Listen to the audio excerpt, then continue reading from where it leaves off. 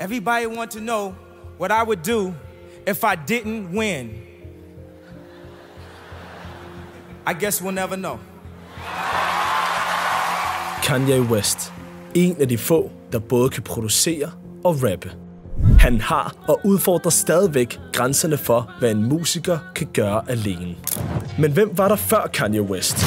For mere end 3.400 år siden, der blev den ældste kendte sang komponeret i Syrien. Den bestod af en række hymner. Jeg ved egentlig ikke helt, hvad ordet betyder, men pointen er jo det samme. Musikken har altid været en del af os. I dag er vi jo langt fra det gamle Syrien. Men musikken følger os stadig. Den har ændret sig, udviklet sig, fra simple hymner til komplekse produktioner. Ser du, musikere, artister og kunstnere, de er vidt forskellige. Nogle skaber hele sangen selv, mens størstedelen arbejder i teams. Det er næsten som en symbiose. En type sang i dag består af flere komponenter.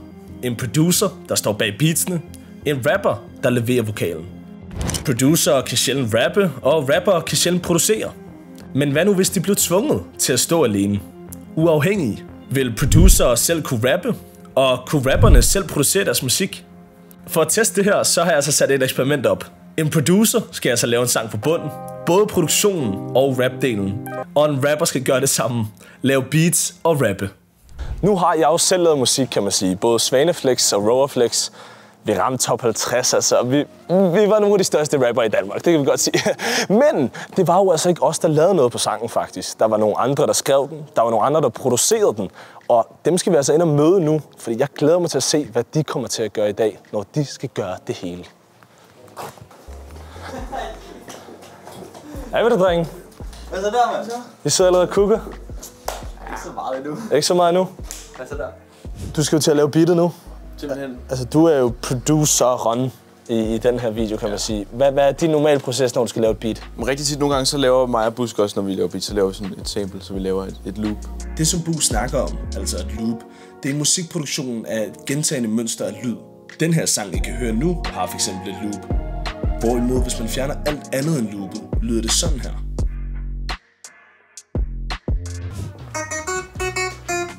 Okay! Faktisk, jeg er pænt stolt af, hvad der er sket indtil videre. Altså, har jeg ikke hørt det der før?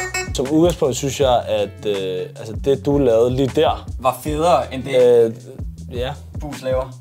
øh, Ja, tak. Ja, Ja. 100 procent. I don't know what you heard about me. Ja, Det er ikke det samme. og så lad os høre igen.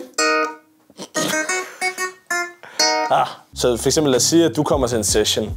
Ja. Øh, du er helt klar, du, ved, du har lige været ude i byen, du har noget at rappe om osv. Ja. Og du kommer ind til det her beat lige nu. Ja. Hvad, hvad vil din umiddelbare tanker være? Jeg går igen. Du, jeg går igen, ja. tak for i aften. Tak for i aften. Man kan sige, at et godt beat kan jo bare være et godt beat, men man skal jo som regel også som producer få en rapper til at rappe på det. Mm. Så det kan være sygt, og der kan være, fuck bassen, den ja. Er bare vild her, men, men der skal også være plads til... Ja, der skal være noget plads ting, til, de ikke? kan snakke. Så ja. der skal være, øh, bare der er en, en fed følelse i det, eller en fed boble. Kan du smide en linje for os lige nu? Det må du ikke. Nej, det må du ikke. det må du virkelig ikke, sorry. Jeg starter forfra. Det går ikke, det her. Det går ikke. Altså, internettet eksisterer. Ja. Ja, så jeg tror, øh, nu, finder jeg bare, nu finder jeg bare samples. Fordi så er det ligesom ikke så meget mine evner. Så er det mere bare andres evner, og så mine evner til at hive det ind i programmet. Altså nu imens drengene de sidder og laver deres beats her, så kan jeg jo fortælle, og jeg tror måske mange drenge, der sidder og ser med på den her video, at alle har jo lidt haft den der drøm om, shit, nu bliver jeg producer. Har lige downloadet FL Studio, whatever, et eller andet, øh, hvad hedder det, Ableton eller et eller andet, Able eller et eller andet fis. Og så har de været sådan, lavet det dårligste beat i hele verden, og så tænkt, ved du hvad, det er slet ikke det værd, jeg stopper. Ja, det lyder, det lyder lidt flad. Ja. Så det kan godt være, det kan godt være, at jeg skal have noget hjælp lige om lidt, tror jeg. Er, er det 60 sekunder nu? I og med rapper og producer jo er afhængige, så har vi altså givet dem 60 sekunder, hvor de kan hjælpe hinanden. Albert. Jeg skal have 60 sekunder. Har du brug for hjælp? Ja. Hvad skal jeg gøre ved den her bass? Jeg skal få den til at lyde fucking sindssygt.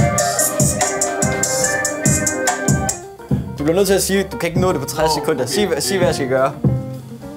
Kør den lige, hvis du skal rigtig dramatisk, så lav lige sådan nogle, hvor du lige kører op og til bum, bum, bum, Ja, sådan nogle slides. bum, bum, bum, bum. Og hvad så, men hvad så med Så mixmæssigt for kører at få du, den har du en højere? capitator. Ja, det capitator på den. Og så lad være med at køre mixer for højt, fordi du skal ikke miste noget på den.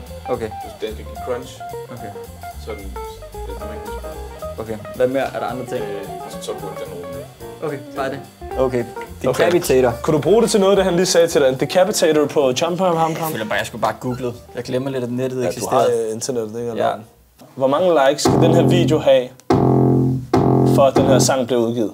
Du, du, Hvor mange likes får du normalt? lad os sige sådan, på en, på en rigtig god dag, 10-15.000. Så lad os sige noget helt... For at den her sang bliver udgivet præcis som den er. 100.000.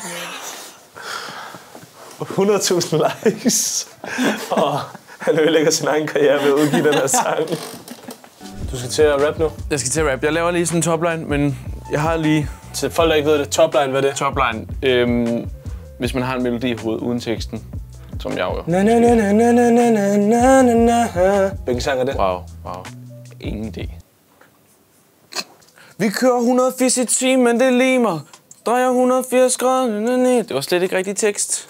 Vi kører 180 i timen, sådan cirka. De andre drejer 180 grader, men det limer. Vi kører 180 i timen, sådan cirka. De andre drejer 180 grader, men det limer. Ah, okay! Jeg skal lige lave et lille mix på det, Okay, og så kan lad, jeg bare lad os køre. til Føn så nu. Hvad, når du skal skrive en sang, hvad, hvad, hvad gør du agtigt? Jeg lytter altid til beatet. Mm. Øh, prøver at høre sådan, hvilken stemning det giver mig. Fordi i stedet for sådan at prøve at forsere et eller andet ud, hvad, ofte så er det den der, hvad laver vi?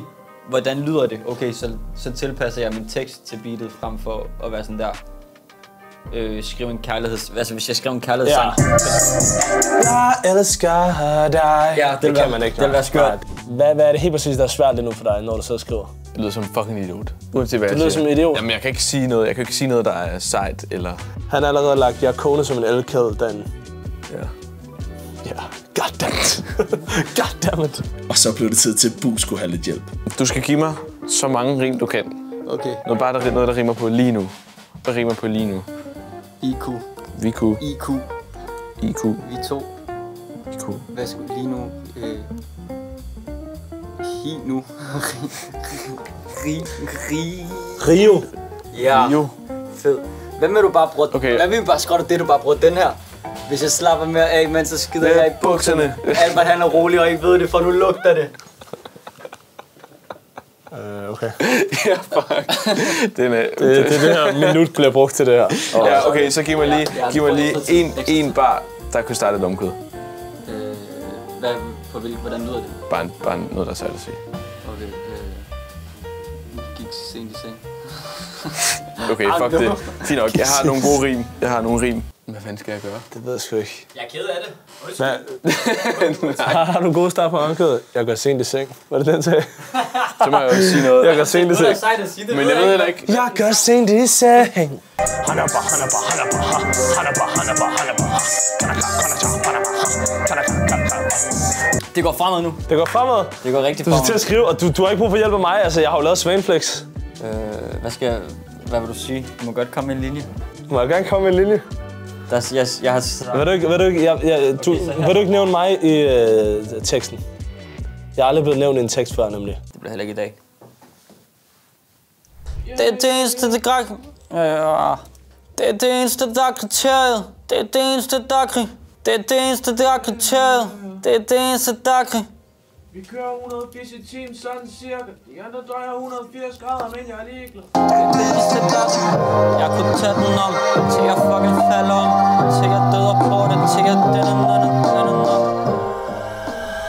Begge sange er færdige. Hvordan, øh, hvordan synes I, det er gået? Lad os starte her. Åh, lort. Ja. Ja. Ej, jeg, ej, jeg er faktisk sådan forholdsvis tilfreds med, hvordan det er gået.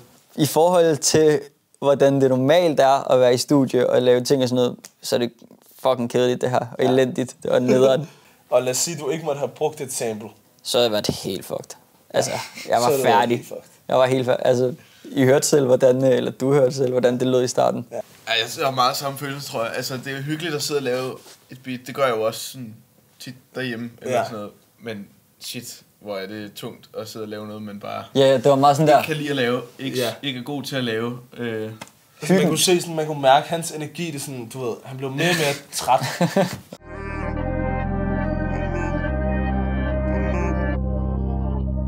Sætter ting i kål i som en elkæde helt som forventet Hvad havde I ellers tænkt, at det skulle ende med? Succes og kvalitet, prøv ikke få de to forvekslet Nogen jagter skejsen, andre det som de har elsket Siden skolestart stod det hele soleklart Mig er rimelig hørsom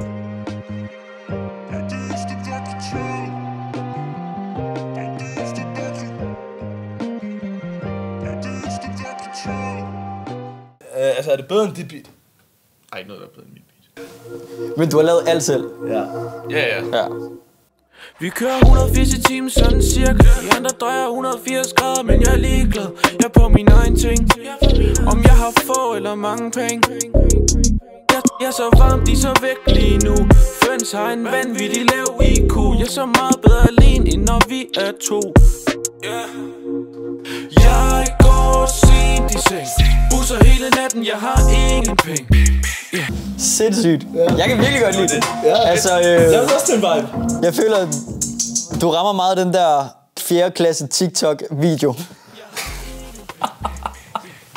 Jamen, øh, det er vel egentlig det. Fedt. Vi har to sange. Så tænker jeg faktisk, at det er folk derude i kommentaren, som skal skrive, hvilken sang de synes er bedst. Uha. Skriv ned i kommentaren, hvilken sang I synes er bedst. Og vi ses næste mandag. Kæmpe fornøjelse.